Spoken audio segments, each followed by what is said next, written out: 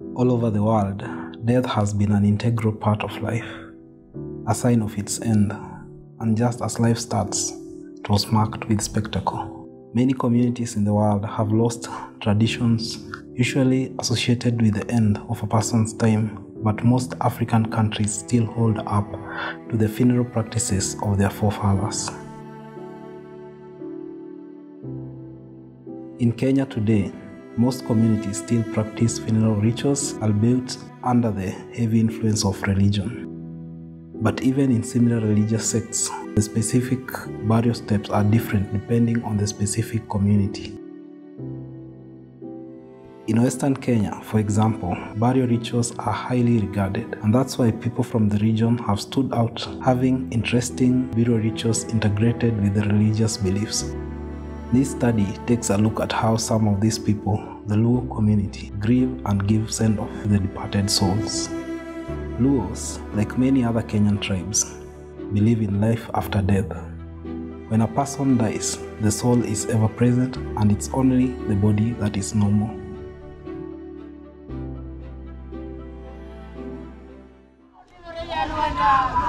Liel,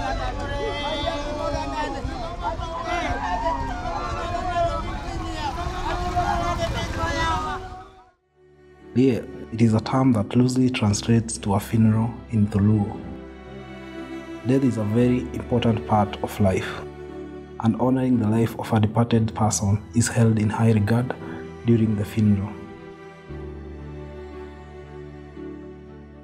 As per the Luo culture, the funeral ceremony constitutes three main parts.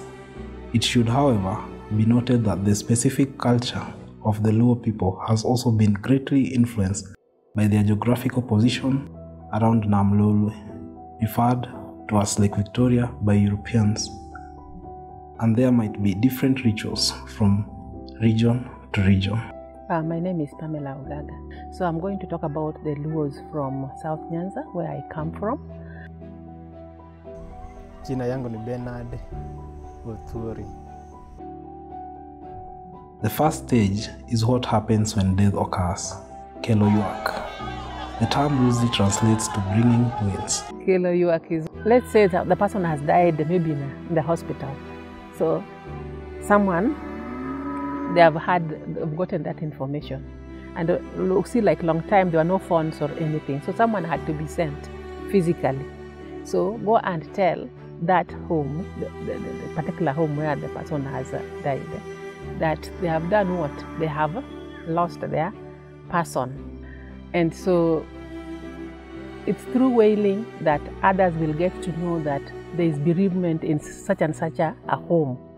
And um, if, for example, if you are married, uh, that is, if you're a woman married from uh, uh, a different area, that is, and you get to hear that either your mother or your father is dead, then you have to also do what? Wail from the place where you are married. Let's say you are married in Kisumu and uh, your home is um, in South Nyanza. So the moment you get to hear the news, you'll have to, to wail. And that will inform uh, others that uh, so and so has been bereaved. And so they'll come uh, to support you, uh, to console you, condole with you.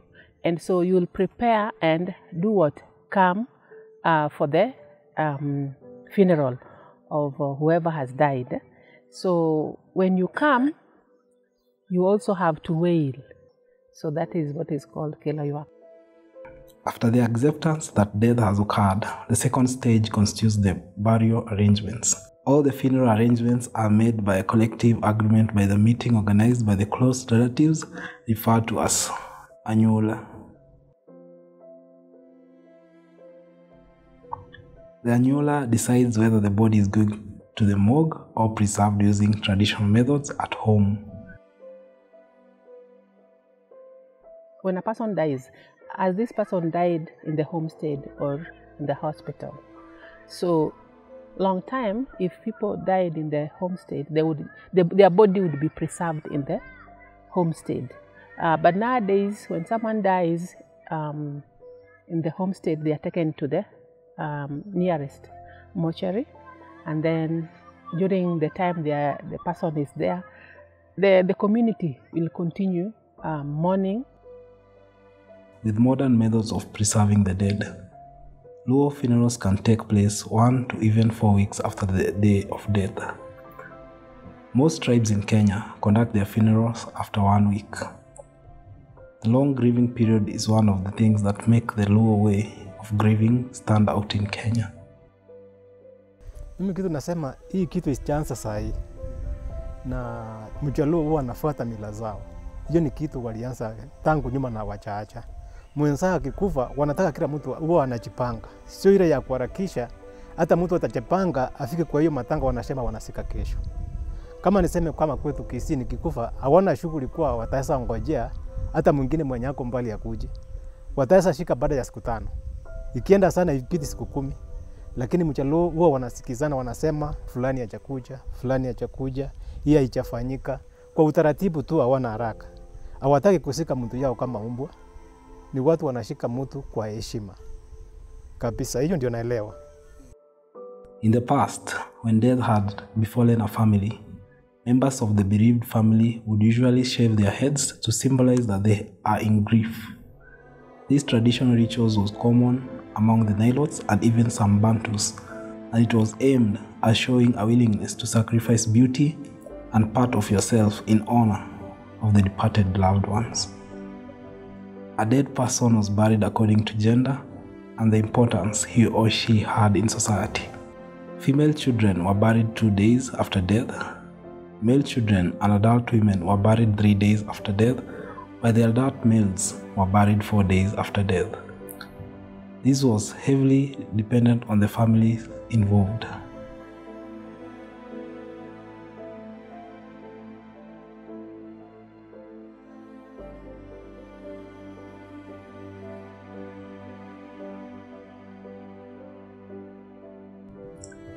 The third stage in the arrangement is the burial day.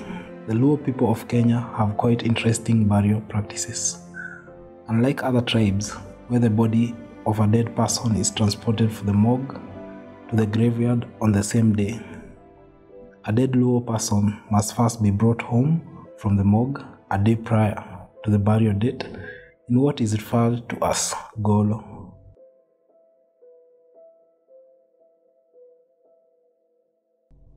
From the time the body arrives home and spends the night awaiting the funeral the next day, many rituals usually take place.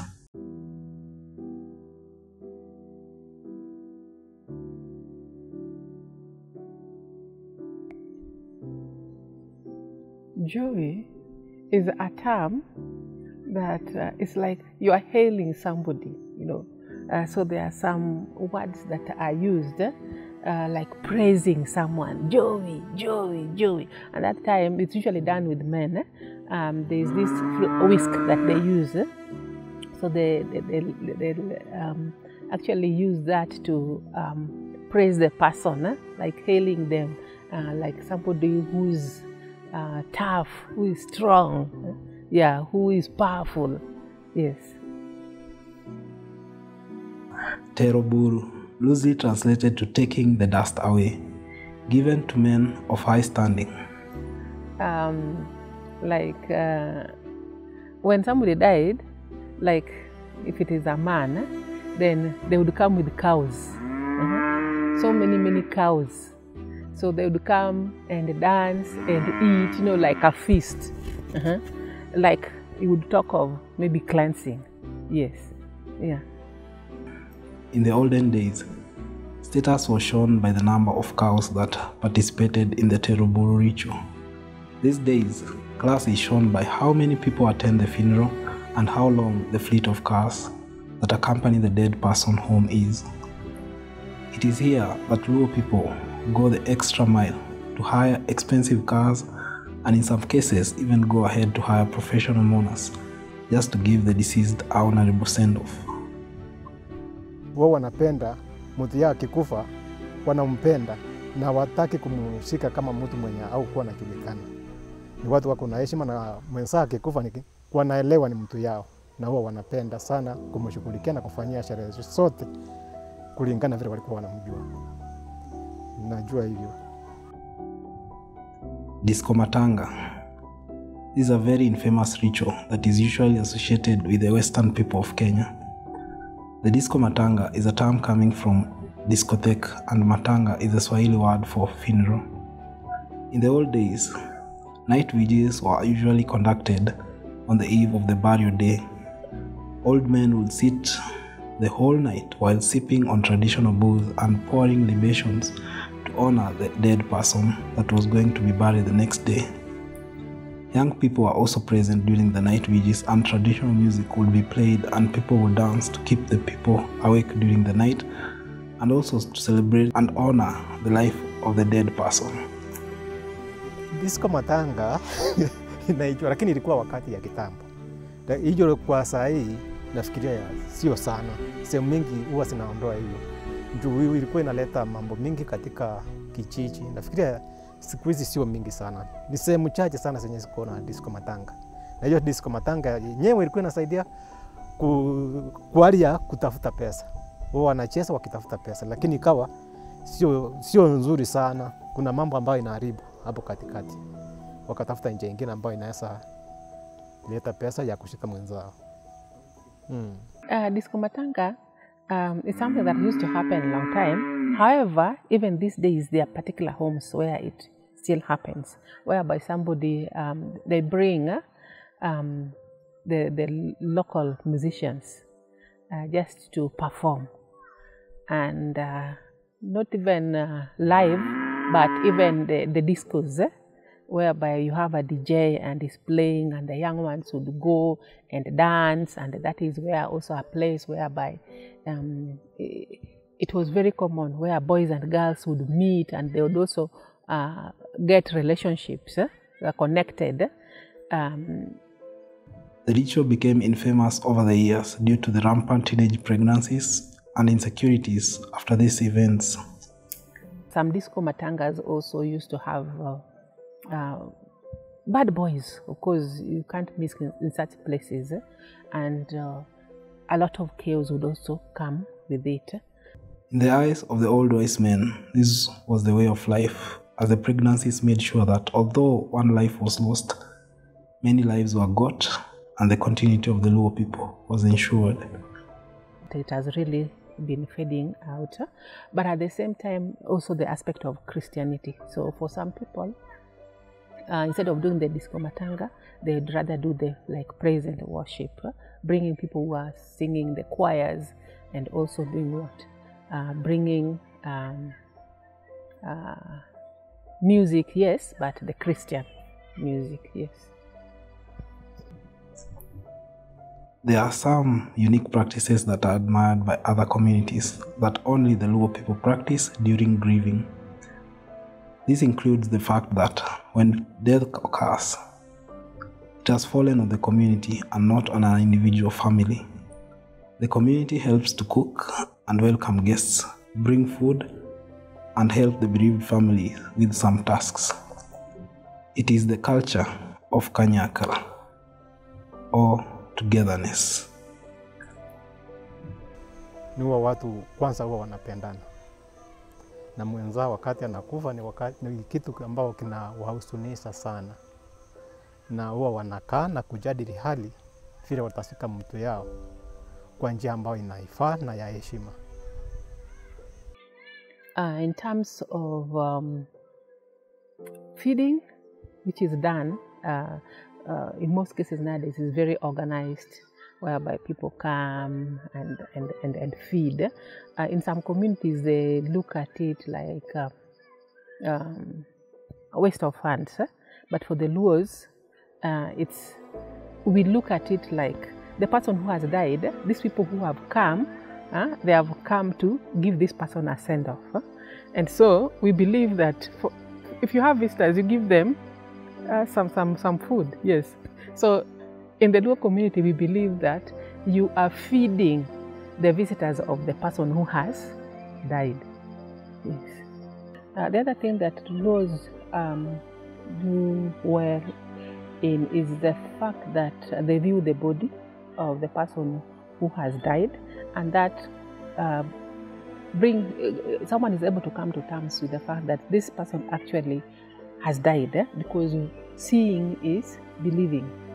Because uh, in the process of uh, um, grieving, you get into denial once somebody dies, and just viewing the body, um, it's you are confirming that this person is actually dead, and so um, viewing uh, for, for me viewing is is um, something that they're doing. Uh, they, they, it's something that is good.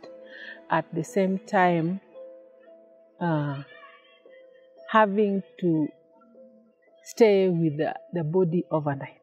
It's also another way of making someone get to terms um, with the fact that this person really has died.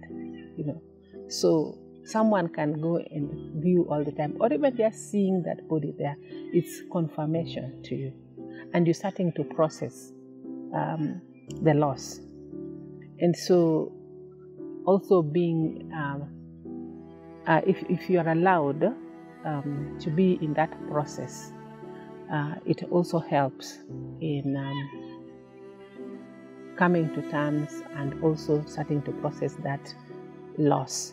And so the moment you get at the graveside and you're seeing this person being lowered into the grave, I think that is very, very important to um, give you that uh, sense uh, that this person actually we have buried him and he or she is not going to, to come back. It gives you closure. So for me, um, that is something that is um, important and positive to me. The traditional Luo funeral practices has also had some, according to modern life, outdated practices. These practices, like wife inheritance, were common back in the day. Wife inheritance uh, is one uh, really outdated that needs to be done away with uh, because um, it's emotional emotional torture uh, to the person who is being subjected to such kind of um, uh, practices uh, because the way it was being done before is that someone was being chosen for you to do it, eh, to inherit. Uh, however, these days, uh, a woman can choose. Uh, so, long time it had to be within the um, the clan. Uh, however, at these days, women are actually free. Uh, though some homes are still strict on it, but it's slowly fading uh, in terms of choices, and it's not really a must uh, because of Christianity. That is one important thing because long time they would look for somebody who is mentally ill Mhm.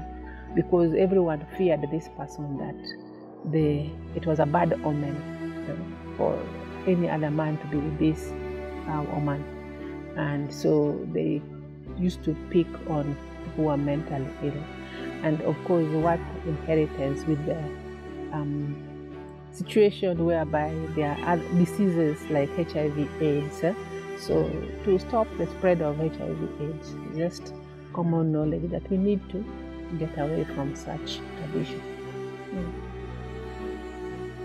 Like many other communities, the Luo funeral practice in the modern age has not been spared from religious influence.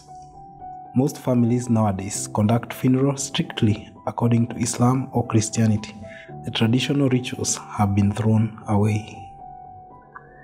Mhm. Christianity has really done a lot eh, in terms of uh, even changing the perspective um, of the, the Luo community when it comes to um, the, the rituals that used to take place uh, during the time of uh, bereavement. Um, the way of doing things has really, really uh, changed. And so that is something which is really, really uh, positive uh, because some of those rituals may not make sense um, to the current Luo population, eh? those who are the, the young ones, you know, uh, because there are different generations, and with different generations, there is change. And so Christianity has really done a, a- a lot of uh, change when it comes to that. Yes. Eh.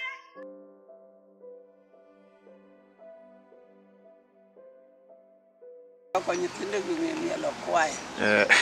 Luonga dhis gi nyamin kod ng'ani ga ga kod uh, uh, Susan. Eh. Giwero kwaya timako gi. Eh, Mano ber. mtu akufangi. Mwili ndiye inakufa